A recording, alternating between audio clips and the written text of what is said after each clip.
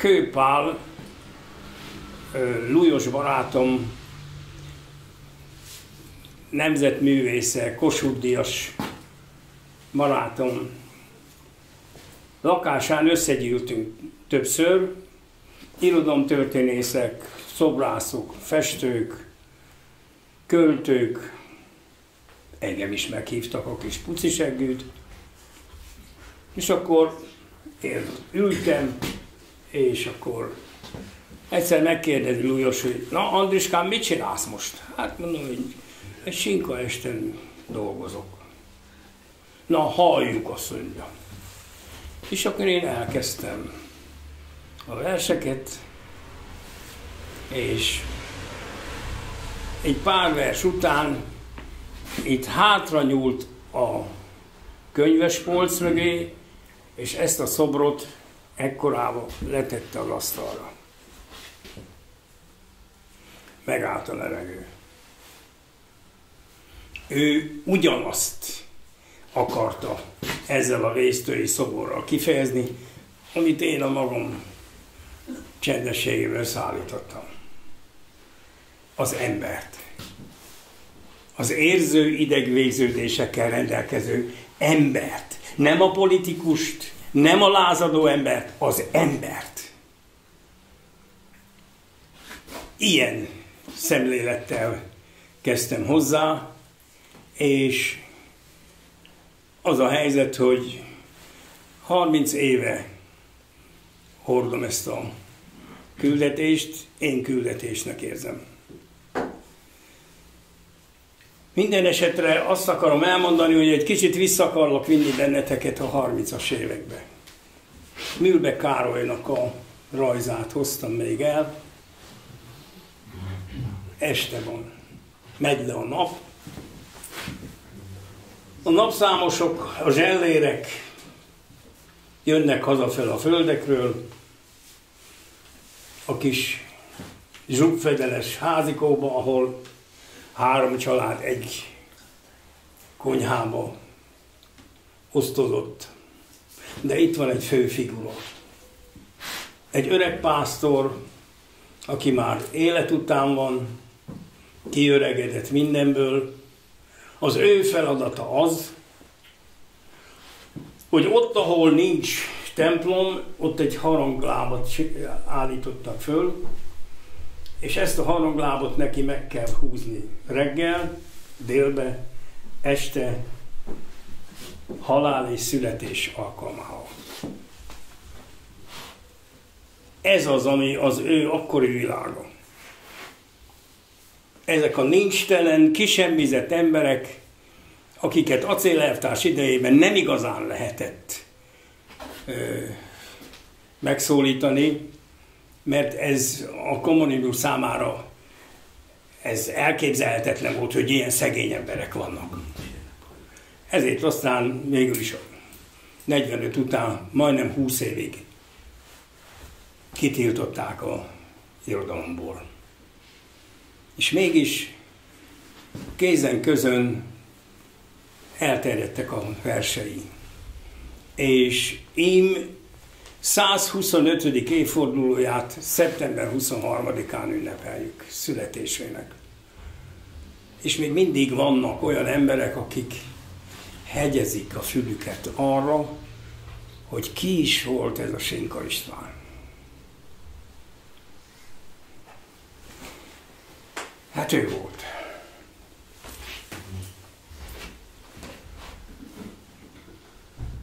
Este van, már késő este, Pásztor tűzek égnek messze, Messze, messze más határon, az a földi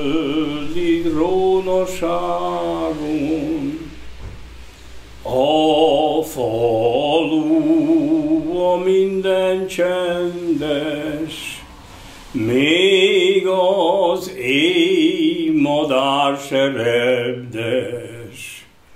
Már a nap is lemenőben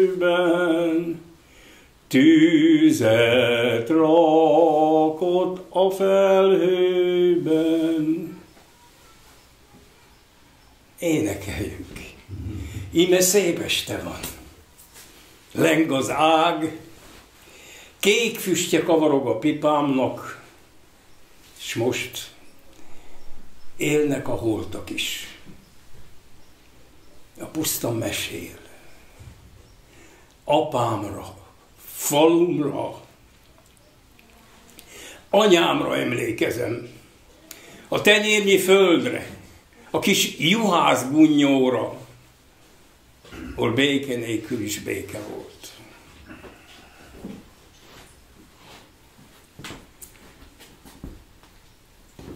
Születni Szalontán születtem a Nagysegődi utcában, a Bozsárféle házban, abban a szobában, amiben Módus Zsuzsa nagyanyám meghalt. Az anyám elmondása szerint különös dolgok történtek velem akkor. Így mesélte el. Este volt. Szél fújt, esőcseppek sohogtak. A kis kertkapuba két rongyos gyerek sírdogált. Anyám kiment, bekísérte, megvacsoráztatta, és lefektette őket. De éjfélkor újra sírt a két vándor gyerek.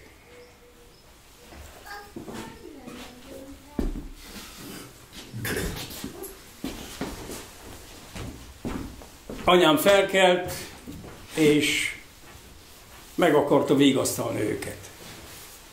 De nem találta sehol. A sírás most már a félszerből hallatszott. Fogta a mécset, és elindult utánuk. Senki és semmi. De most már a sírás a pallásról hallatszott. Anyám felment a létrán, bevilágított a pallásajtón, és bekiabált nekik. Gyertek elő, gyerekek! Semmi hang. A pallásajtó lecsapódott, a mécs elaludt, anyám pedig végig zuhant a létrán. Amikor magához tért, látta, hogy a kiskertbe tenyérnyi rózsákat nyitott ki minden szál krizantén. Ekkor a hazért apám is Gyuláról, betámolygatta anyámat, és én a szoba földjére rögtön megérkeztem.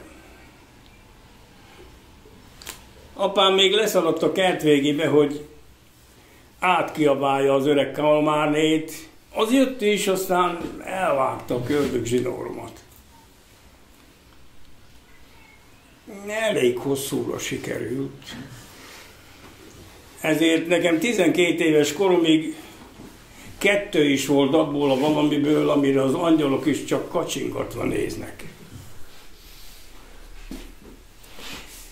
A születésem után anyám nem mert egyedül maradni, ezért apám egy kenyeres pajtásával hazajárt minden este. Hogy elfogja a két vándor gyereket. Mert három hét után újra sírtak. Előbb a kertkapuba, aztán a palláson. Most nagyobb szerencséjük volt, mert anyám a kémény mögött egy válig lekvárt talált, betapaszva a pallás tapicsába. Megörültek. Levitték. Akkor vették észre, hogy én a bölcsőből eltűntem. Az ágy alatt találtak meg kibontott pólyával. Aludtam, mint a tej. Eztán már sosem sírt a két vándor gyerek. Erről annyit ír még meg, hogy ő nem evett a lekvárból, de az anyja az élete végéig őrizte ezt a válingot.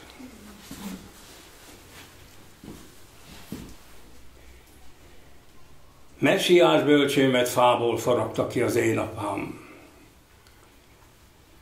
és keserű szájjal. Sok-sok éjszakán át mesélt a holdfának, és mondta anyámnak így, ringasd, ó, ringasd hát furcsa fiunkat. Ki majd a fényes egek fölé néz jobbágy bölcsőjét énekelve, melyből úgy nőtt ki, mint erős hűtörzsből a ragyogó lomb. Ringasd, ó, ringasd! Hogy most még hadd pihenjen erős markunkban így, álomban, előttünk, mert a kísért a hangos világba, úgy is elnyelik köd, marja, tűz, temeti csillaghullás. Öt éves koromig apámat alig ismertem. Mert kinnélt a pusztán egész télen át, szigorú szemmel mérte sorsát, és ritkán jött haza, hogy bőrszagú bundájában beleöleljen. Mondták, nagy karám védte őt is, akár a juhokat, ha hószált át a tájon.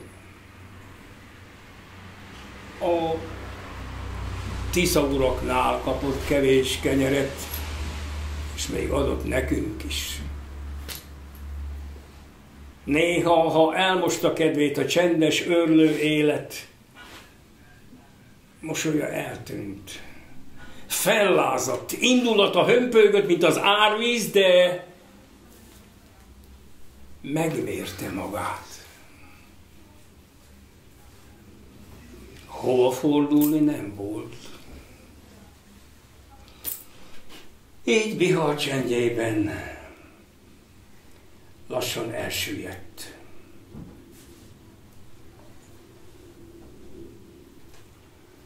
Kicsi juhász gunyó, ölelgeti Bihar. Onnan jöttem én a népem álmaival. Az én Istenemnek van is én rám gondja, kísér egyikről a másik személydombra. Aztán elsuhan mellőlem a ködbe. Azért vagyok így rúgva és leköpve.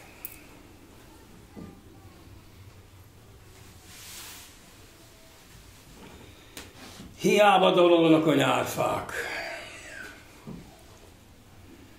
A tücsök árnyéka is hiába villan. És hiába festi sárgára az árpát a nyár, nem nyughatok. Amin van egyetlen jóm, hős kis botom. Kézbe fogom száll le a nap, így segít, hogy ne lássanak. És amikor a nyájak után valamikor szélbe bomlott az apám fürtje, most az útján, a nagy úton, én itt bolyongok, de nem úgy, mint ő. Én már akár a két szemem ki. Jó ez az út. Itt árok is van.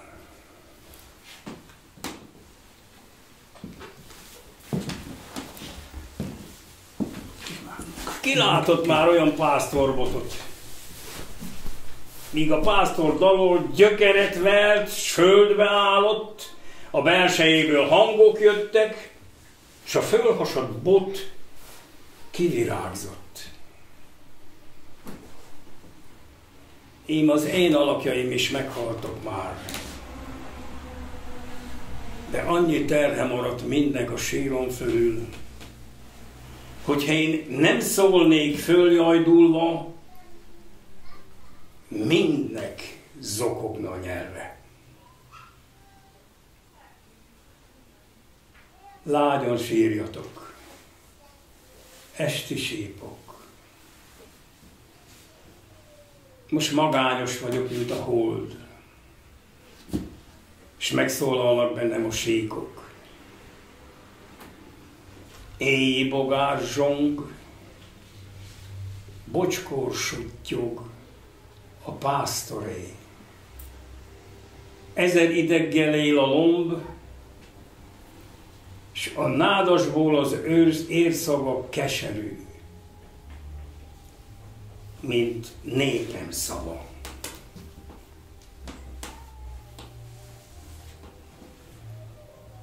Este már nem dalolnak a kútnál, már halkok és csendesek nem hallják a rigó fütyül. Nem bányák a mord eget. Előttük hosszú, kínos út áll. És én, te, minden együtt verjük testükbe a szeget. De egyszer elindulnak, mint az áradat. És én intek nekik, vezéretek vagyok teletitokkal, én az ember, a volt arató, a mindig kisemmizett, ki ura előtt mind nem dadog, csak megyen előre hóri horgas fejjel. És a puszták kutyáinak egyszer enni vett.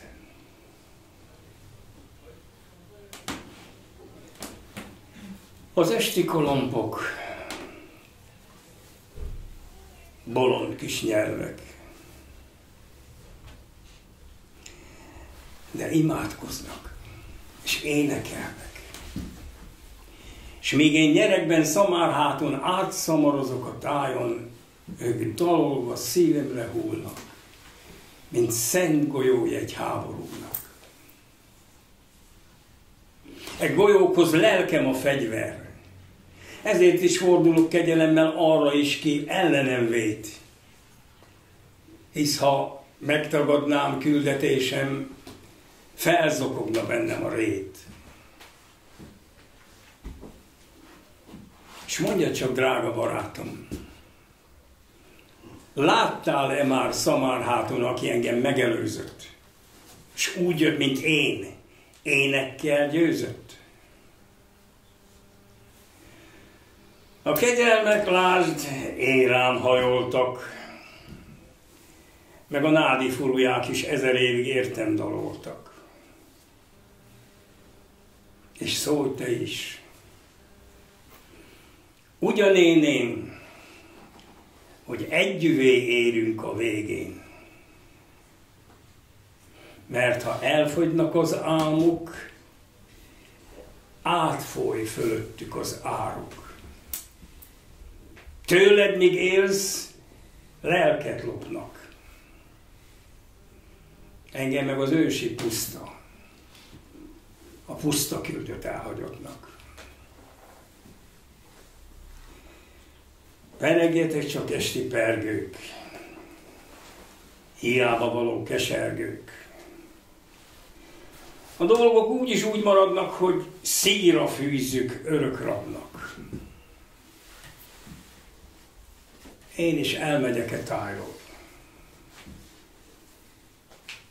De poroszkáló szamárhátról még visszaszólok. A botom réz,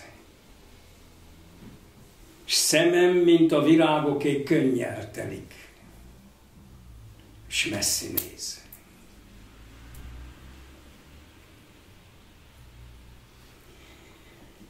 Nagyanyáim és szép anyáim lelke dalolt nekem a pusztán, hogy keljek fel a virágok közül. Induljak el a dalok jussán, hagyjam magára a nyájat, mert felőlem az rendeltetett, hogy vihar fújja meg a számot.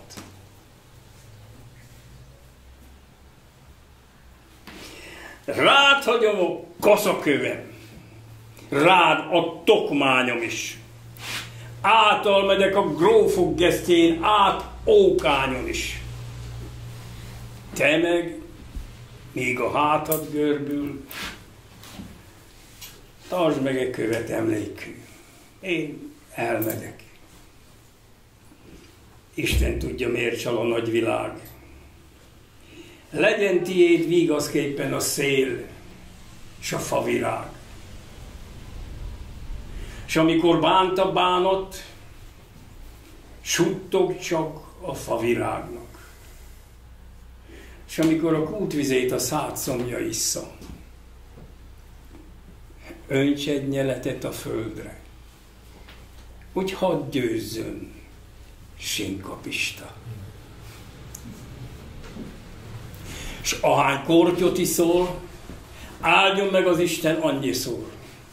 Áldjon meg jó tojótyúkkal, szőlővel, malacsal, és 63 ősz után is játékos tavasszal. És ha nem találkoznánk többé, áldjon meg mindig,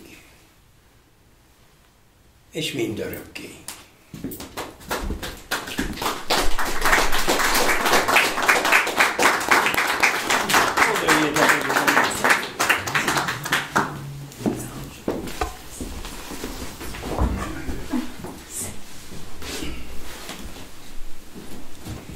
Pár nap múlva, hogy Fazekas nálam volt, kifizette a, kifizette a juhok árát, amivel még tartozott. Meszeltem kívül belül a házat, hogy valami, hogy utoljára még rendbe tegyen. Akkor meg Mihály barátom az én bolytárom jött be hallott, hogy Piroska meghalt, hallott, hogy elkészülök a tájról, így hát velem akart búsulni. De jött azért is, hogy azt a kis pulit, amit valamikor ő adott nekem, adjam oda neki, ne kajlódjon másnál ez a kis puli volt, a sziszi. Odaadtam neki. Nehezen indult el, de aztán egyszer mégis csak elindult. Amikor elfordultak a saroknál, sokáig álltam még a Lécke kapuban, azon gondolkoztam, hogy meddig fog még kiabálni a csillagokra, még elfelejt. De aztán gondoltam, jobb neki a szabadság, a puszta.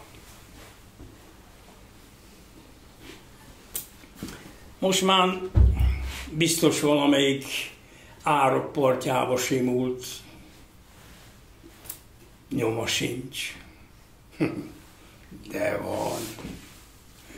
Az utolsó szó a kutyámhoz című vers neki szól. Mikor Mihály elvitte, nagyon sokat köhécseltem és forgolódtam az ágyon, és megírtam ezt a verset. És valahányszor azt álmodom, hogy a puszták között, pusztákba kóborgok, mindig eszembe üt Szici. Fut felém, hegyes a füle, mint a tű, lompos nagyszőre, lobog a szélben, boldogan.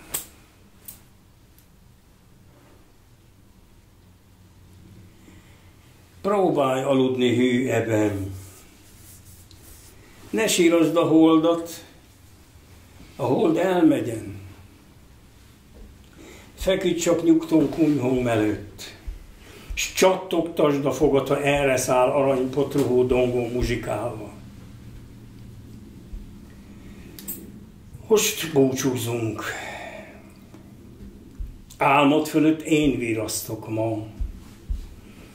Aki megvédem alattad az utolsó küszöböt. Reggel aztán futhatsz a szélben. Szaglászó óra lénemében nem jössz már, ha húl az alkonyat. És nem csaholsz, ha megszólal a torony ablakán a kürtös szava. Próbálj aludni, hű ebben. Még most árnyék a bánat csak, mely rád szakad majd, s őrjönk a szemeden. Elkopik haj időbe sodorva eddigi életed, s csetelve botolva keresed a visszafutó ösvényt. Pakkangasz téli varjak fele, vagy elvadult fejedet csendbe fúrod. Ó, hol állsz meg vajon? Tán lángoló darazsak hordják szét szíved, még fölötted víjogva harcolnak dögevő madarak. Próbálj aludni. Hű ebben. Ez lesz számodra az altató. A szép éjszaka, mely nyugtalan lelkemmel a végtelenbe megy.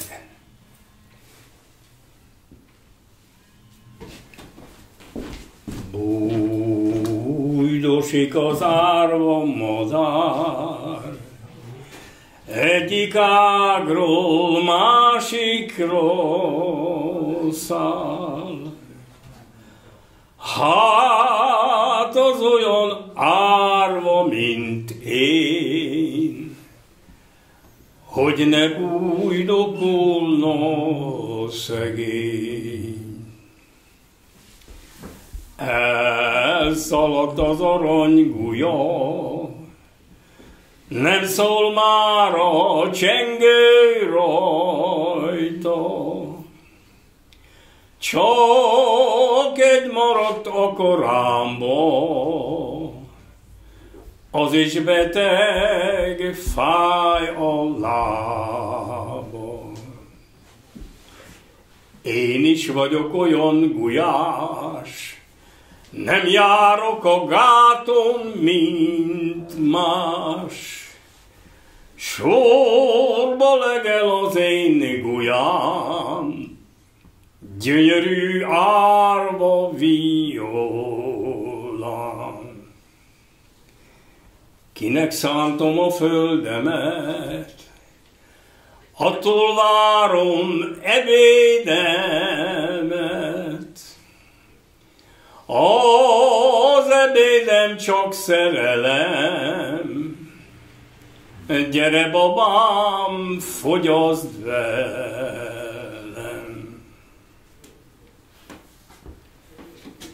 Bihar csendjében, mocsarok hátján várt engem sokszor nyárszemű mátkám, este, mikor a szúnyog fűre szállt.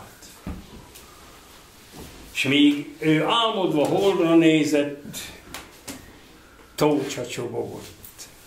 Lengett a káka, kutyám nagy nyelvvel vizet lötyölt, és a zöld érben bátor szomromlába méregette a béka lencsét.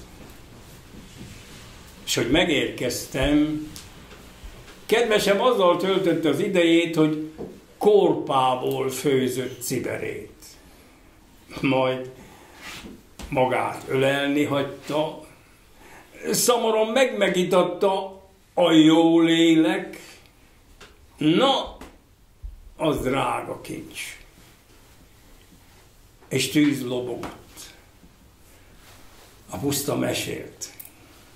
Ott, ahol nincs semmi újság, az örök kaszálon, júniusban, égette piros nagyszobjú szánkat, ezt a mennyei korsót. És míg én öleltem, kedvesem súgta. A pásztorkalap neked jól áll. És így szebb vagy te a fabimbónál. De nem tart semmi ám örökre. Így világámon letörött. Le. Csukott szemhéjú pásztorasszony mond minden holdmesék öreg anyja rosszat szólott. S hult a vád, hogy jó mátkámnak titkon este világot hord az uraság. És még én bajlódok a nyájjal, ezer éves fűszfák alatt nevetnek rajtam, póri költőn, hogy erdő háton ringott a bölcsőn. Ám a tejfehér hold búcsúzni nekem is szabad. Csacsimát elővezettem, és ügyes kézzel, pohosasán áttettem az átalvetőm, köszöntem hullóhanggal, és indultam útra, erdőn. Út közibe évekre rá szállott a hír, hogy csöpmátkám csúfolt fej egy ablakon tenyérbe húlt. Értem. Vakon. Most nincs köröttem egyéb jóság, csak az örök múlandóság. Fejem is dongja sárga még, ki ezüstszernyán világporral, ha megun engem tovább repül, így viszi hangom illatát, s vele ingók is ágra ül. De visszahull rám, mint az árnyék. S volt mátkám elől eltakar. Az meg szegény jön és bután virágot szól csacsim után. Van még valaki? Nincs. Rengő ősi nyárfák alatt híres kedvemből valami. Tán az emléke megmaradt. Kormos bográcsban birka hús főtt, és egy sárga képű öreg juhász góbiskolt a bogrács előtt. Ifjú bajtársaim bort is hoztak, tambura is pengett az éjben, és míg az öregek álmodoztak, mi táncoltunk az égzengésben. Messziről villámlott az ég, és a borban egy tört élet fájt és a tűzfüstje imbolyogva barna csíkként a kékbe szállt.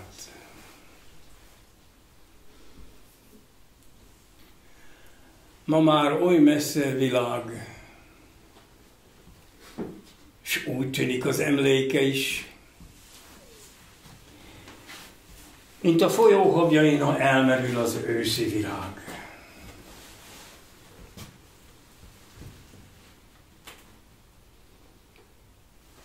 Őszi úton sok falavél, mivel betyár, betyárba aladákat is mondunk. Megyedon egy ökrös szekér. Tatár Imre fekszik rajta, az ökröt hat zsandár hajtja. Hat a zsandár mind gyalogol.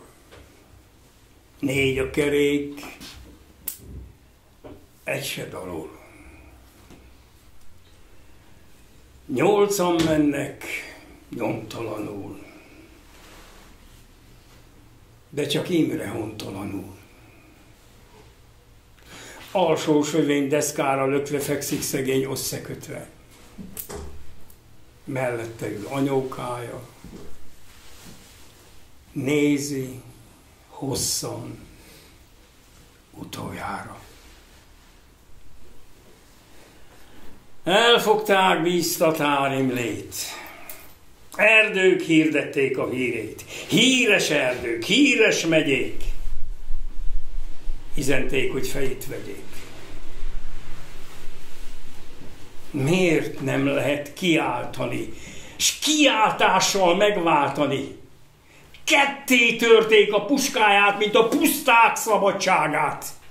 Mit tudják azt a zsandárok, hogy a magyar puszta árok? Nem csak árok,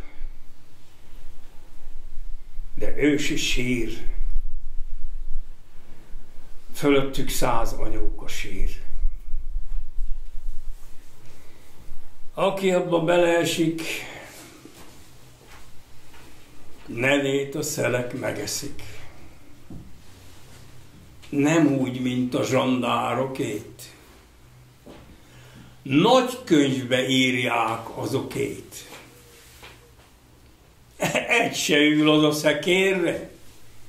Idegen mind, más a vére. Viszik Tatár Imrét kötve anyókája, mintha nyögne.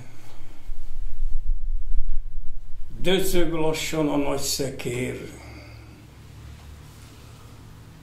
Itt-ott véres a falevér. A könnyed kék letagadni. Vagy a szívnek meghasadni.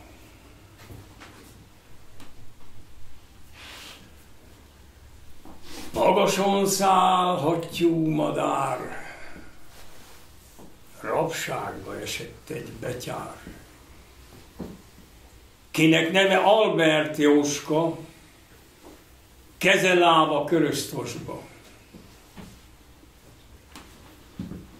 Hajtják a lomot Gyulára, magam is megyek utána ne hajtsátok olyan nagyon, nem leszek én mindig vakon. Kérem komiszáros urat, ne örüljön rabságomnak, mert ha rabságomnak örül, kés forog a szíve körül. Nem fogok mindig rab lenni. Ki fogok én szabadulni? Ki hogy szokott vélem bánni, úgy fogom néki megszolgálni. Azt nem hittem volna soha, hogy így legyen éltem sora. Kezem, lábam keresztvasba, a szeretőim háza tárba. A szeretőm szép kis barna. Vélem beszélni akarna.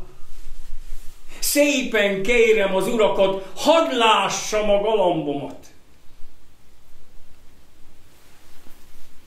Megtiltotta a törvénykönyv.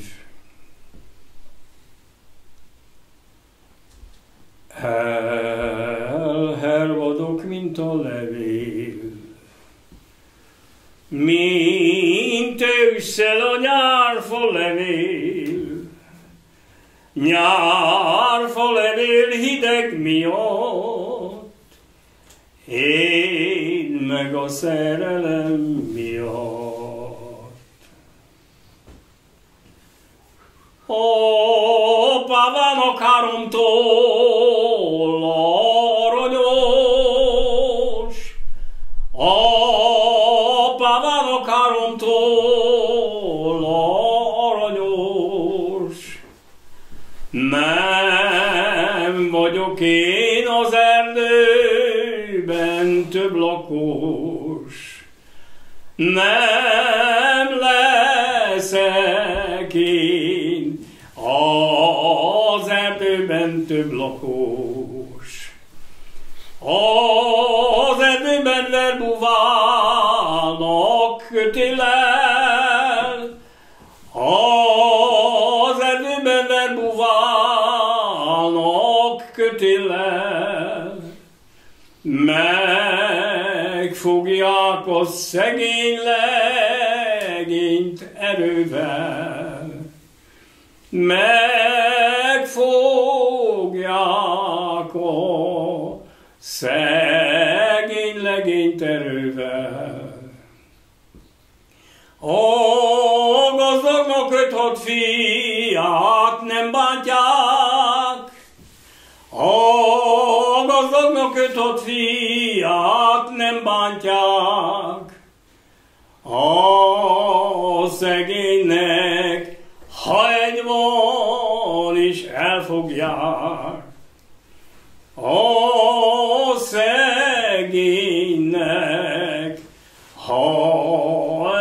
Is elfogják. Menj utána apja, anya sírossal, menj utána apja, anya sírossal.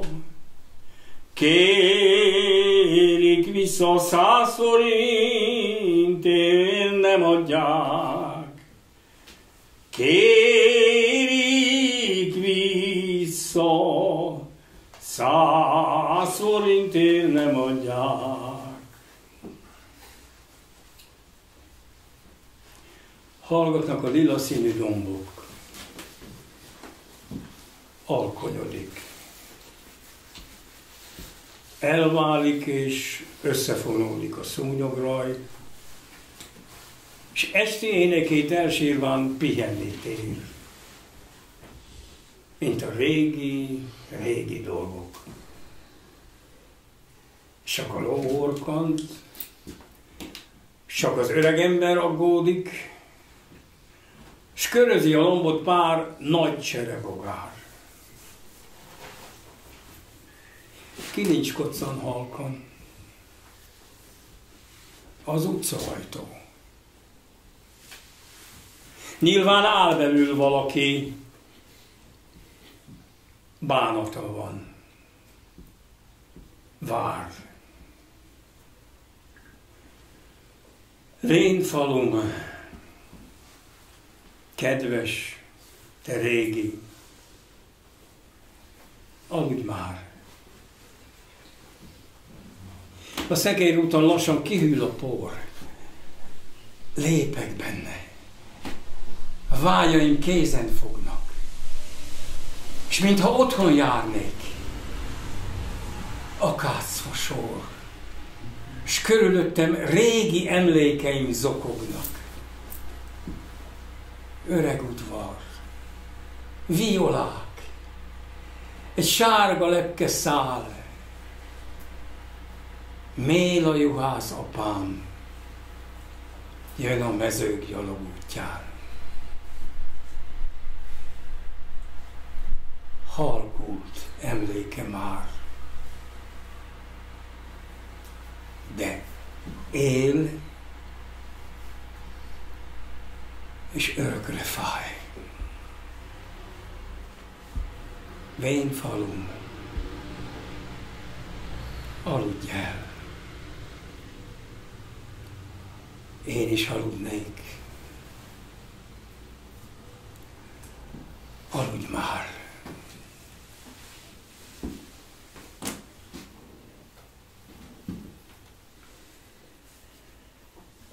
Egyszer volt szép az anyám tánca. Mikor a kendőjét gyebre hányt a korhány vizénél, puszta pándon. Bokázó lába pásztortűznél öles apám örömére szállt, mint illat a virágon. De gyönyörű lábával végfigurát eredő táncba, táncába ő. Csak mutatta nyíló gondolattal halálba járó őseit. Mert ugyanaz sírt fel a flótán hogy meghaltak azok ima nélkül, nagy szakállal, akasztófán. S hajnalt tájban, lengő szélben, hogy fénynyílott két nyárszemében elébe raktak tíz szál gyertyát hat másikat meg karikába. Közöttük anyám ott sugárzott, és kis csizmája lángot vert át. Az ősi ritmus pásztorok fütyölték. Kettő-kettő felállott szérül jelezve, hogy a csúfolt ős szép feje most halálba révül. Holtak szemét, ahogy lezárták, ezt a sirató örökbúcsút a nyárfák alatt már öten járták. Akkor meg mikor sírt nyitnak, közébült, közébült repült apám, ki úgy mérte az öt táncolót, ki utolsó fordulattól az egész műbe értelmet vitt.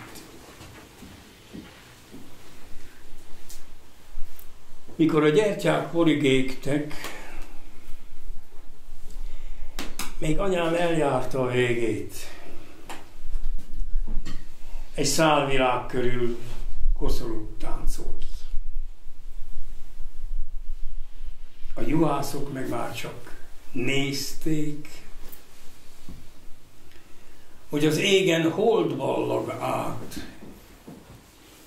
s csodálja nagy fehér szemmel anyám lábán a balladát.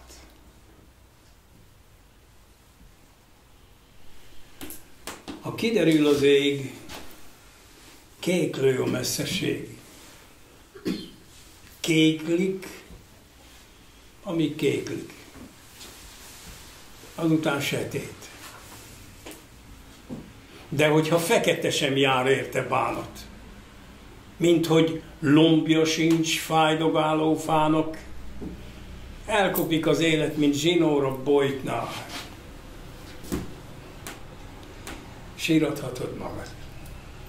Még csak bojt se voltál.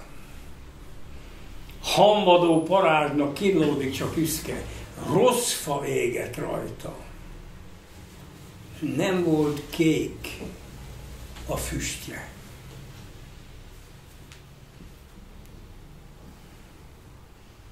Dús András juhász volt. Már fekete a képe. Leásták pihenni le a fák tövébe. Fiatal volt mégis görbe volt a háta.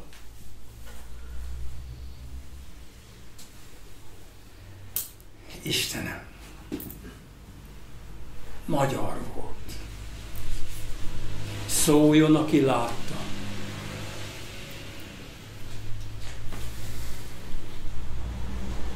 Fölöttünk csillagok vannak, és az út előttünk végtelen. Az esztendők lassan elfaragnak bennünket, és mint a fogyólomb lehúlunk. Voltunk anyókák gondjai, és a messzeségek bolondjai. A csengőink édes hangjai elhalkultak. Azon tűnődünk. A világ legszebb harangjai ezek voltak. Vége. Hazatérünk. Mentünk a magunk útján mindig magunk, ezért lett fehér hajunk. Meggörbültünk, mint a bodza. Felnézünk még, ha szél a csordazaját feleink hozza. Ilyenkor az útkorában megfigyeljük, merre haza. És hogy merről hív a daruk szava. Igen. A daruk is hívnak. Búcsúzunk hát. És mögöttünk esték és emlékek sírnak. Testvér, te bárki fia, akárki légy, a útunkat járod, vess a nyomunkra virágot.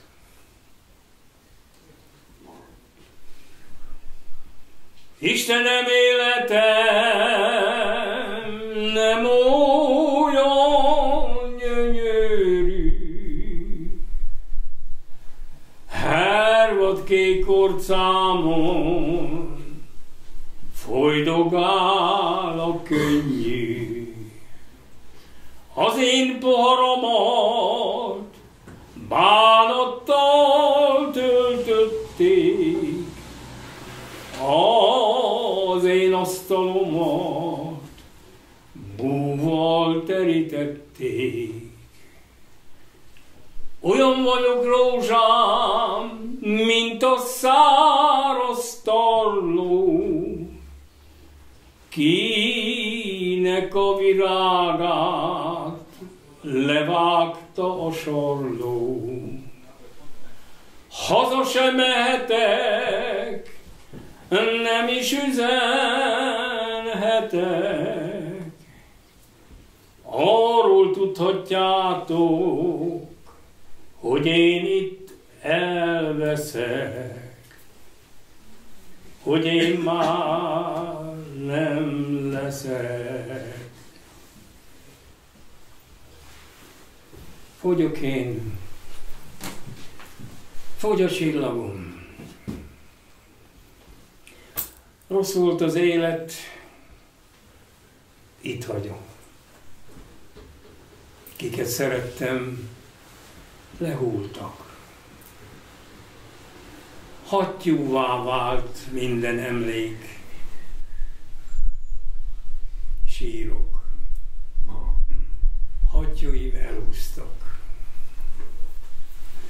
Szárnyuk soha meg se lebben. Úgy úsznak a végtelenben.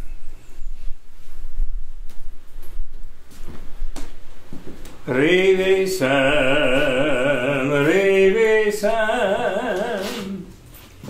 vigyél át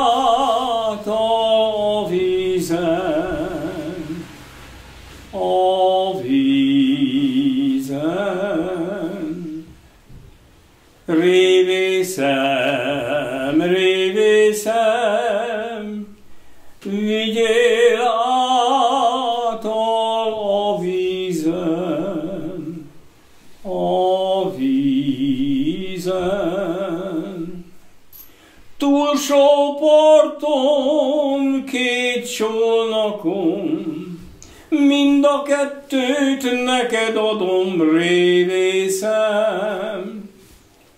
Vigyél át a vízen, a vízen.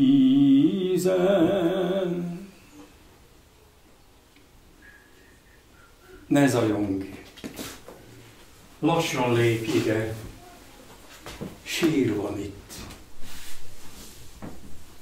Itt nyugszik híve a jó szavaknak. S most sírját laposra, csornataposra. Lépj ide, s ítéld meg magad. Te is tapostad, amíg élt.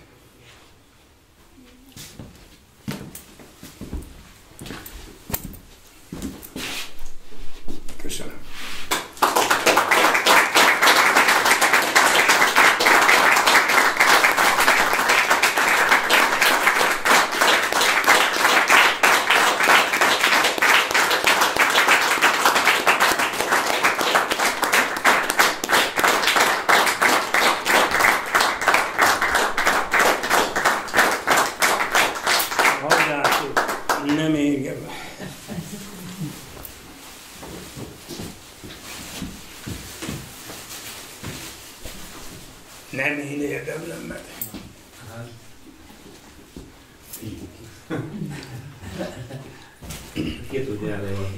Csak közvetítő vagyok. Hát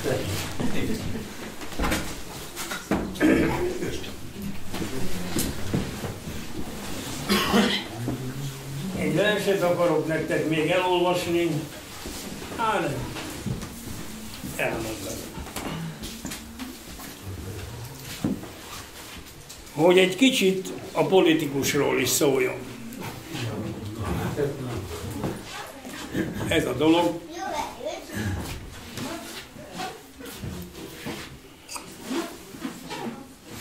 Az Európai Unió még sehol nem volt. 30-as évek vannak. Azt se tudták, hogy van Európai Unió. És ő a 30-as években a Tüzes Galamb című versében így fogalmazza meg az Európai Uniót. Ő 30-as évek még látta.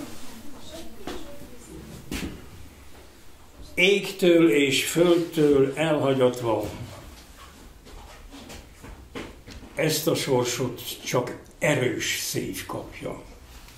Rettentő örökviadalmak magának. Távol mindenkitől. Így kell itt egyre megszépülni embernek, és égig magyarnak.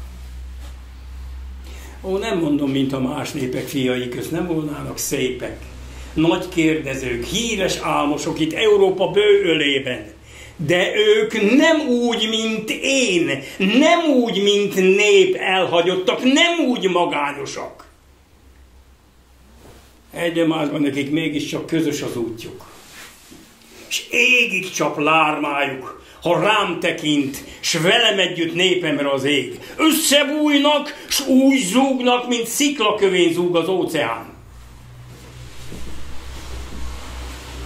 égtől és földtől elhagyatva. Ezt a sorsot más nép nem kapja. Ez a sors csak a miénk. Egyedül. Erős szív kell hozzá. Az ilyen szívre az ég tüzes galambja megpihenni, néha rárepül.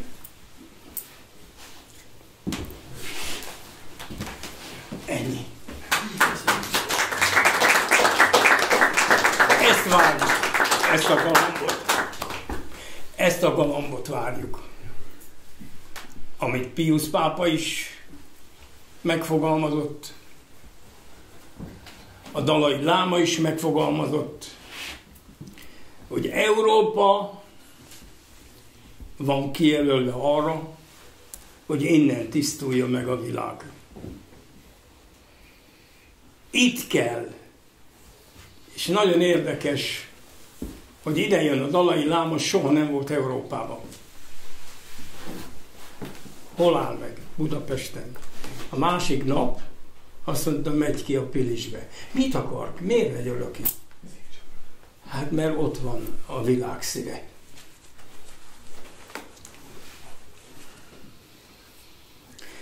Ők mondják, hogy innen Európából kell, és Európán belül Magyarországról kell kirepülni egy csodálatos madárnak, egy szabadság madárnak,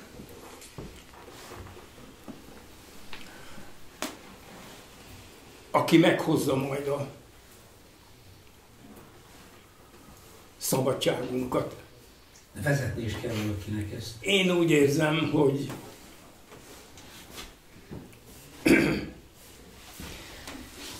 a Trianon alkalmával Máriának, Máriához imádkoztunk,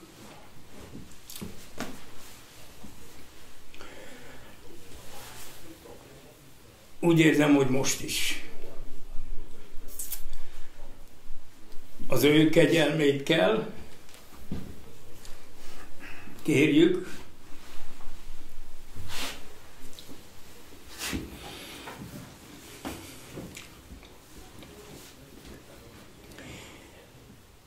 nagyasszonyunk, hazánk reménye,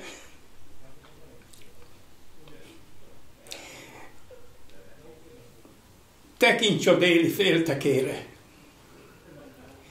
Bús nemzetek csekély paránya, ítélve örök árvaságra.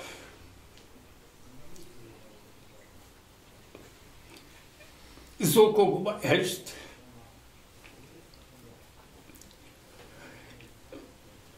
mint pusztában a zsidókat hajlandó úr, vezéreld, óvjad,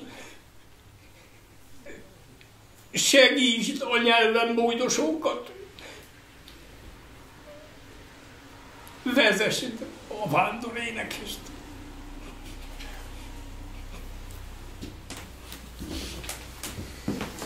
Köszönjük András!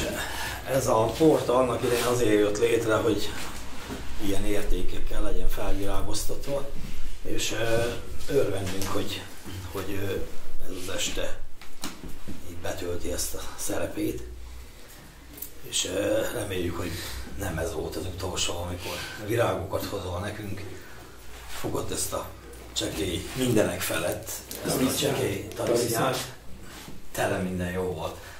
Gondolom, hogy erre lesz. Én még egyszer nagyon köszönöm, és tudom, hogy Bokros teendőid el fogsz szólítani, és nem tudunk kikérdezni téged a következő órákba, de nyilván a program szerint fogjuk folytatni, mindenkit várunk egy pohár arra egy kis... Azért még azt hozzámondanám azt, hogy tegnap például nem igazán beszéltünk arról, hogy a legnagyobb balgalája, amit fiatal korában, fiatalok korában írta, anyám balladát táncolt. És erről nem beszéltek a tegnapiak, hogy ez tulajdonképpen, ha nem írja meg, sosem fogjuk megtudni, hogy azok a társadalomtól ö, kitaszított emberek, akik végül is a sorsukat nem tudták megoldani, öngyilkosok lettek, azokat nem lehetett eltemetni a temetőbe. Csak a temető árkába. Ez a pogány temetés az, aminek a ritusát leírta, nem tudtuk volna soha. Nagyon fontos ezért ez a vers, hogy az egyszerű ember is, tehát a kitaszított embernek is egy méltóságot adott a, a nép, a társai halála után. Ezért óriási vers ez. Tehát a pogány temetésnek egy olyan fajta ö, megfogalmazása, amit előtte senki, senki nem mert megmondani. Senki nem mert leírni. Nagyon fontosnak éreztem, hogy, hogy ezt elmondjam, mert, mert nem igazán beszélünk róla. Hanem csak úgy elmondjuk. És legtöbbször ugye ebből az óriási nagy műből kiemelnek, és az anyám balladát táncolt kiemelik. Nem. Nem, nem. A többit hozzá kell mondani, mert az abból született meg. És ez az ember, aki 45 éven keresztül bolyongott a Bihari meg a Sáréti pusztákon, ez az ember a negyedik elemi után könyvet vett ki az anyja neki. Meghalt az apja, meghalt János bátyja, ő volt a kenyérkereső. És ez az ember teljesen autodidakta módon önmagát, a szélfutta kis ö, ö, papírokat összegyűjtve mindent olvasta, olvasott csupán, hogy a, az ő ö, tudását gyarapítsa. És ekkor egyszer csak csoda történik. Mert a pusztán átmegy egy asszalos segéd, aki megáll mellette, és elkezd beszélgetni vele. És a hóna alatt egy Petőfi kötet van. És akkor ő ebből verseket olvas fel neki. De akkor már a második versnél már nem tud a helyén ülni. Mert annyira meg akarja szerezni azt a könyvet, hogy de neki nincs semmi vagyona. És akkor jut eszébe, hogy előtte, hogy a gazda hogy átjárt a gazdasszonyhoz, a szomszéd gazda átjárt a gazdasszonyhoz, és hogy ő ezt meglátta, hát el akarták hallgatni, egy fosos bárányt adattak neki. Na ezt felajánlt a könyvér. És ez az, amit ő elmond, neki három tanítómestere volt. Jézus a Bibliával, Petőfi Sándor és Tolstoy tanítómesterek. Ezt a három embert emelte ki, aki végül is őt elindította ezen az úton. Na hát, és az a megaláztatás, amelyeket a Fekete Boltár című ö, kötetben megfogalmaz, Fekete Boltár. Aki a pusztába beérkezik, az mindenképpen kap egy ragadvány nevet. A ragadvány név az mindenképpen kifejezi azt. Onnantól kezdve teljesen mindegy, hogy mi van a keresztlevelekben. Fekete boltár. Miért hívják fekete boltárnak? A fekete szűr, a fekete kalap, és a gányó lányok azok, akik ezt ráadják. A gányó lányok pedig a dohány ültetvényeken dolgoznak, és a mellei halmai között szárított pipadohányt hoznak a költőnek. És ezt borzasztó boldogsággal elfüstöli. Kokás. Így van. Na hát innen van a fekete bolytár, és aki azt a fekete bolytárban vagy ö, ö, dolgait, el, vagy ö, meséit elmondja, illetve a, azokat a történéseket, amit velem voltak, hát az éppen Zsoltal beszélgettük, hogy hát az annyira átlényegül, hogy úgy azt mondja, hogy lehetetlen, hogy ezt egy ember kibírta ezt a hihetetlen fájdalmat. Gondoljatok bele, hogy, hogy tél van. És ugye tudja, hogy az apja is, meg a, a, a bátyja is tüdőbajba halt meg, mert kin megázott, és rajta, rajta száradt meg annak ruha. Tél van, és nagyon hideg. És akkor egy ilyen gödört talált, amiben behajtotta a nyájat, és ő pedig egy gőzölgő trágyadombot látott, kezével gödröt kapart bele, és abba feküdt bele. Ettől volt az, hogy megmenekült. És ugyanez visszajátszik, amikor felmegy Pestre. Pesten itt a három gyereket ketten iskolába járnak, és konvenciósok. Zoltánt viszont odatta a, a boltos asszonynak. Na most ezeknek mindenképpen elő kell teremteni a pénzét. Egyszer eszik egy nap. Kekszet, meg vizet. És úgy húzza ki a teleket, hogy a mosodák, azok általában nem voltak a pincébe, és ezzel a vas rácsról jöttek fel, jött fel a meleg, oda feküdt le. Tudni, amikor még felment, akkor Püski Sándor bácsiéknál volt, de ugye ott olyan vendégállás volt, hogy előbb-utóbb lábal, szóval lábat, lábatlankodhatott ott, és ezután aztán az volt, hogy volt a, a híd alatt, meg a, a Gellért hegyen húzott, húzta meg magát, hogy annyi pénzt össze tudjon szeredni, hogy ezeknek a gyerekeknek a fizetését megtenni, hiszen és akkor most még, még arról beszéljünk, hogy tulajdonképpen Papíroska az, aki az első felesége van, őtől a három gyerek van. János, Ferenc és Zoltán. Én Zoltánt ismertem.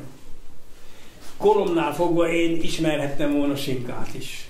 De a Jóisten nem adta meg ezt a kegyelmet ezért mégis mindenképpen úgy érzem, hogy én ezt valahogy küldetésnek érzem, hogy ahol igény van arra, hogy hallgassák Sinkát, én oda szívesen elmegyek bármikor.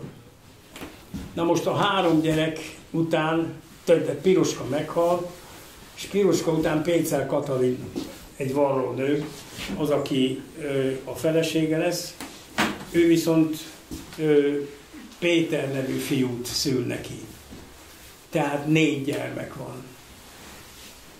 Majd utána Péter Katalival a, a Kittitől elválik, és Szint Magdához, Énához kerül. Ez az, amit én meséltem, hogy ővele viszont találkoztam. Ő az, aki rendezte a, az egész életművet, de a fiúkkal való ö, vita az, az, az élete végeig meg volt. Tudnik a fiúk. Nagyon érdekes, hogy, hogy ugye a legnagyobb küzdelmet a három nő közül Piroskával éli meg.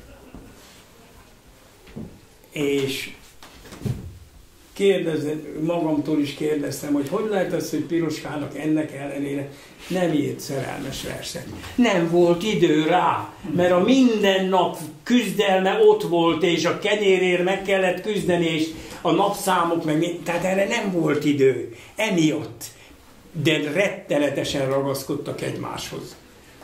Ö, tulajdonképpen Péceli Katalin, Kitty az, az egy ilyen átmenet volt, de, de az Éna, az meg viszont a legtöbb szerelmes verset kapta, mert öregkorának volt tulajdonképpen a gondozója, és a gondozás után pedig rendezte a, az életének a dolgait. Na, nem akarok tovább fárasztani benneteket, csak nem, egy pár ilyen dolgot azért el akartam mondani, hogy valamit tudjunk is róla, ne csak a versei. Az iskolában is fáraszthattak volna bennünket egy-egy versel annak idején, nem sikerült. Egyet sem. De most már hátra majd. Köszönjük András még egyszer.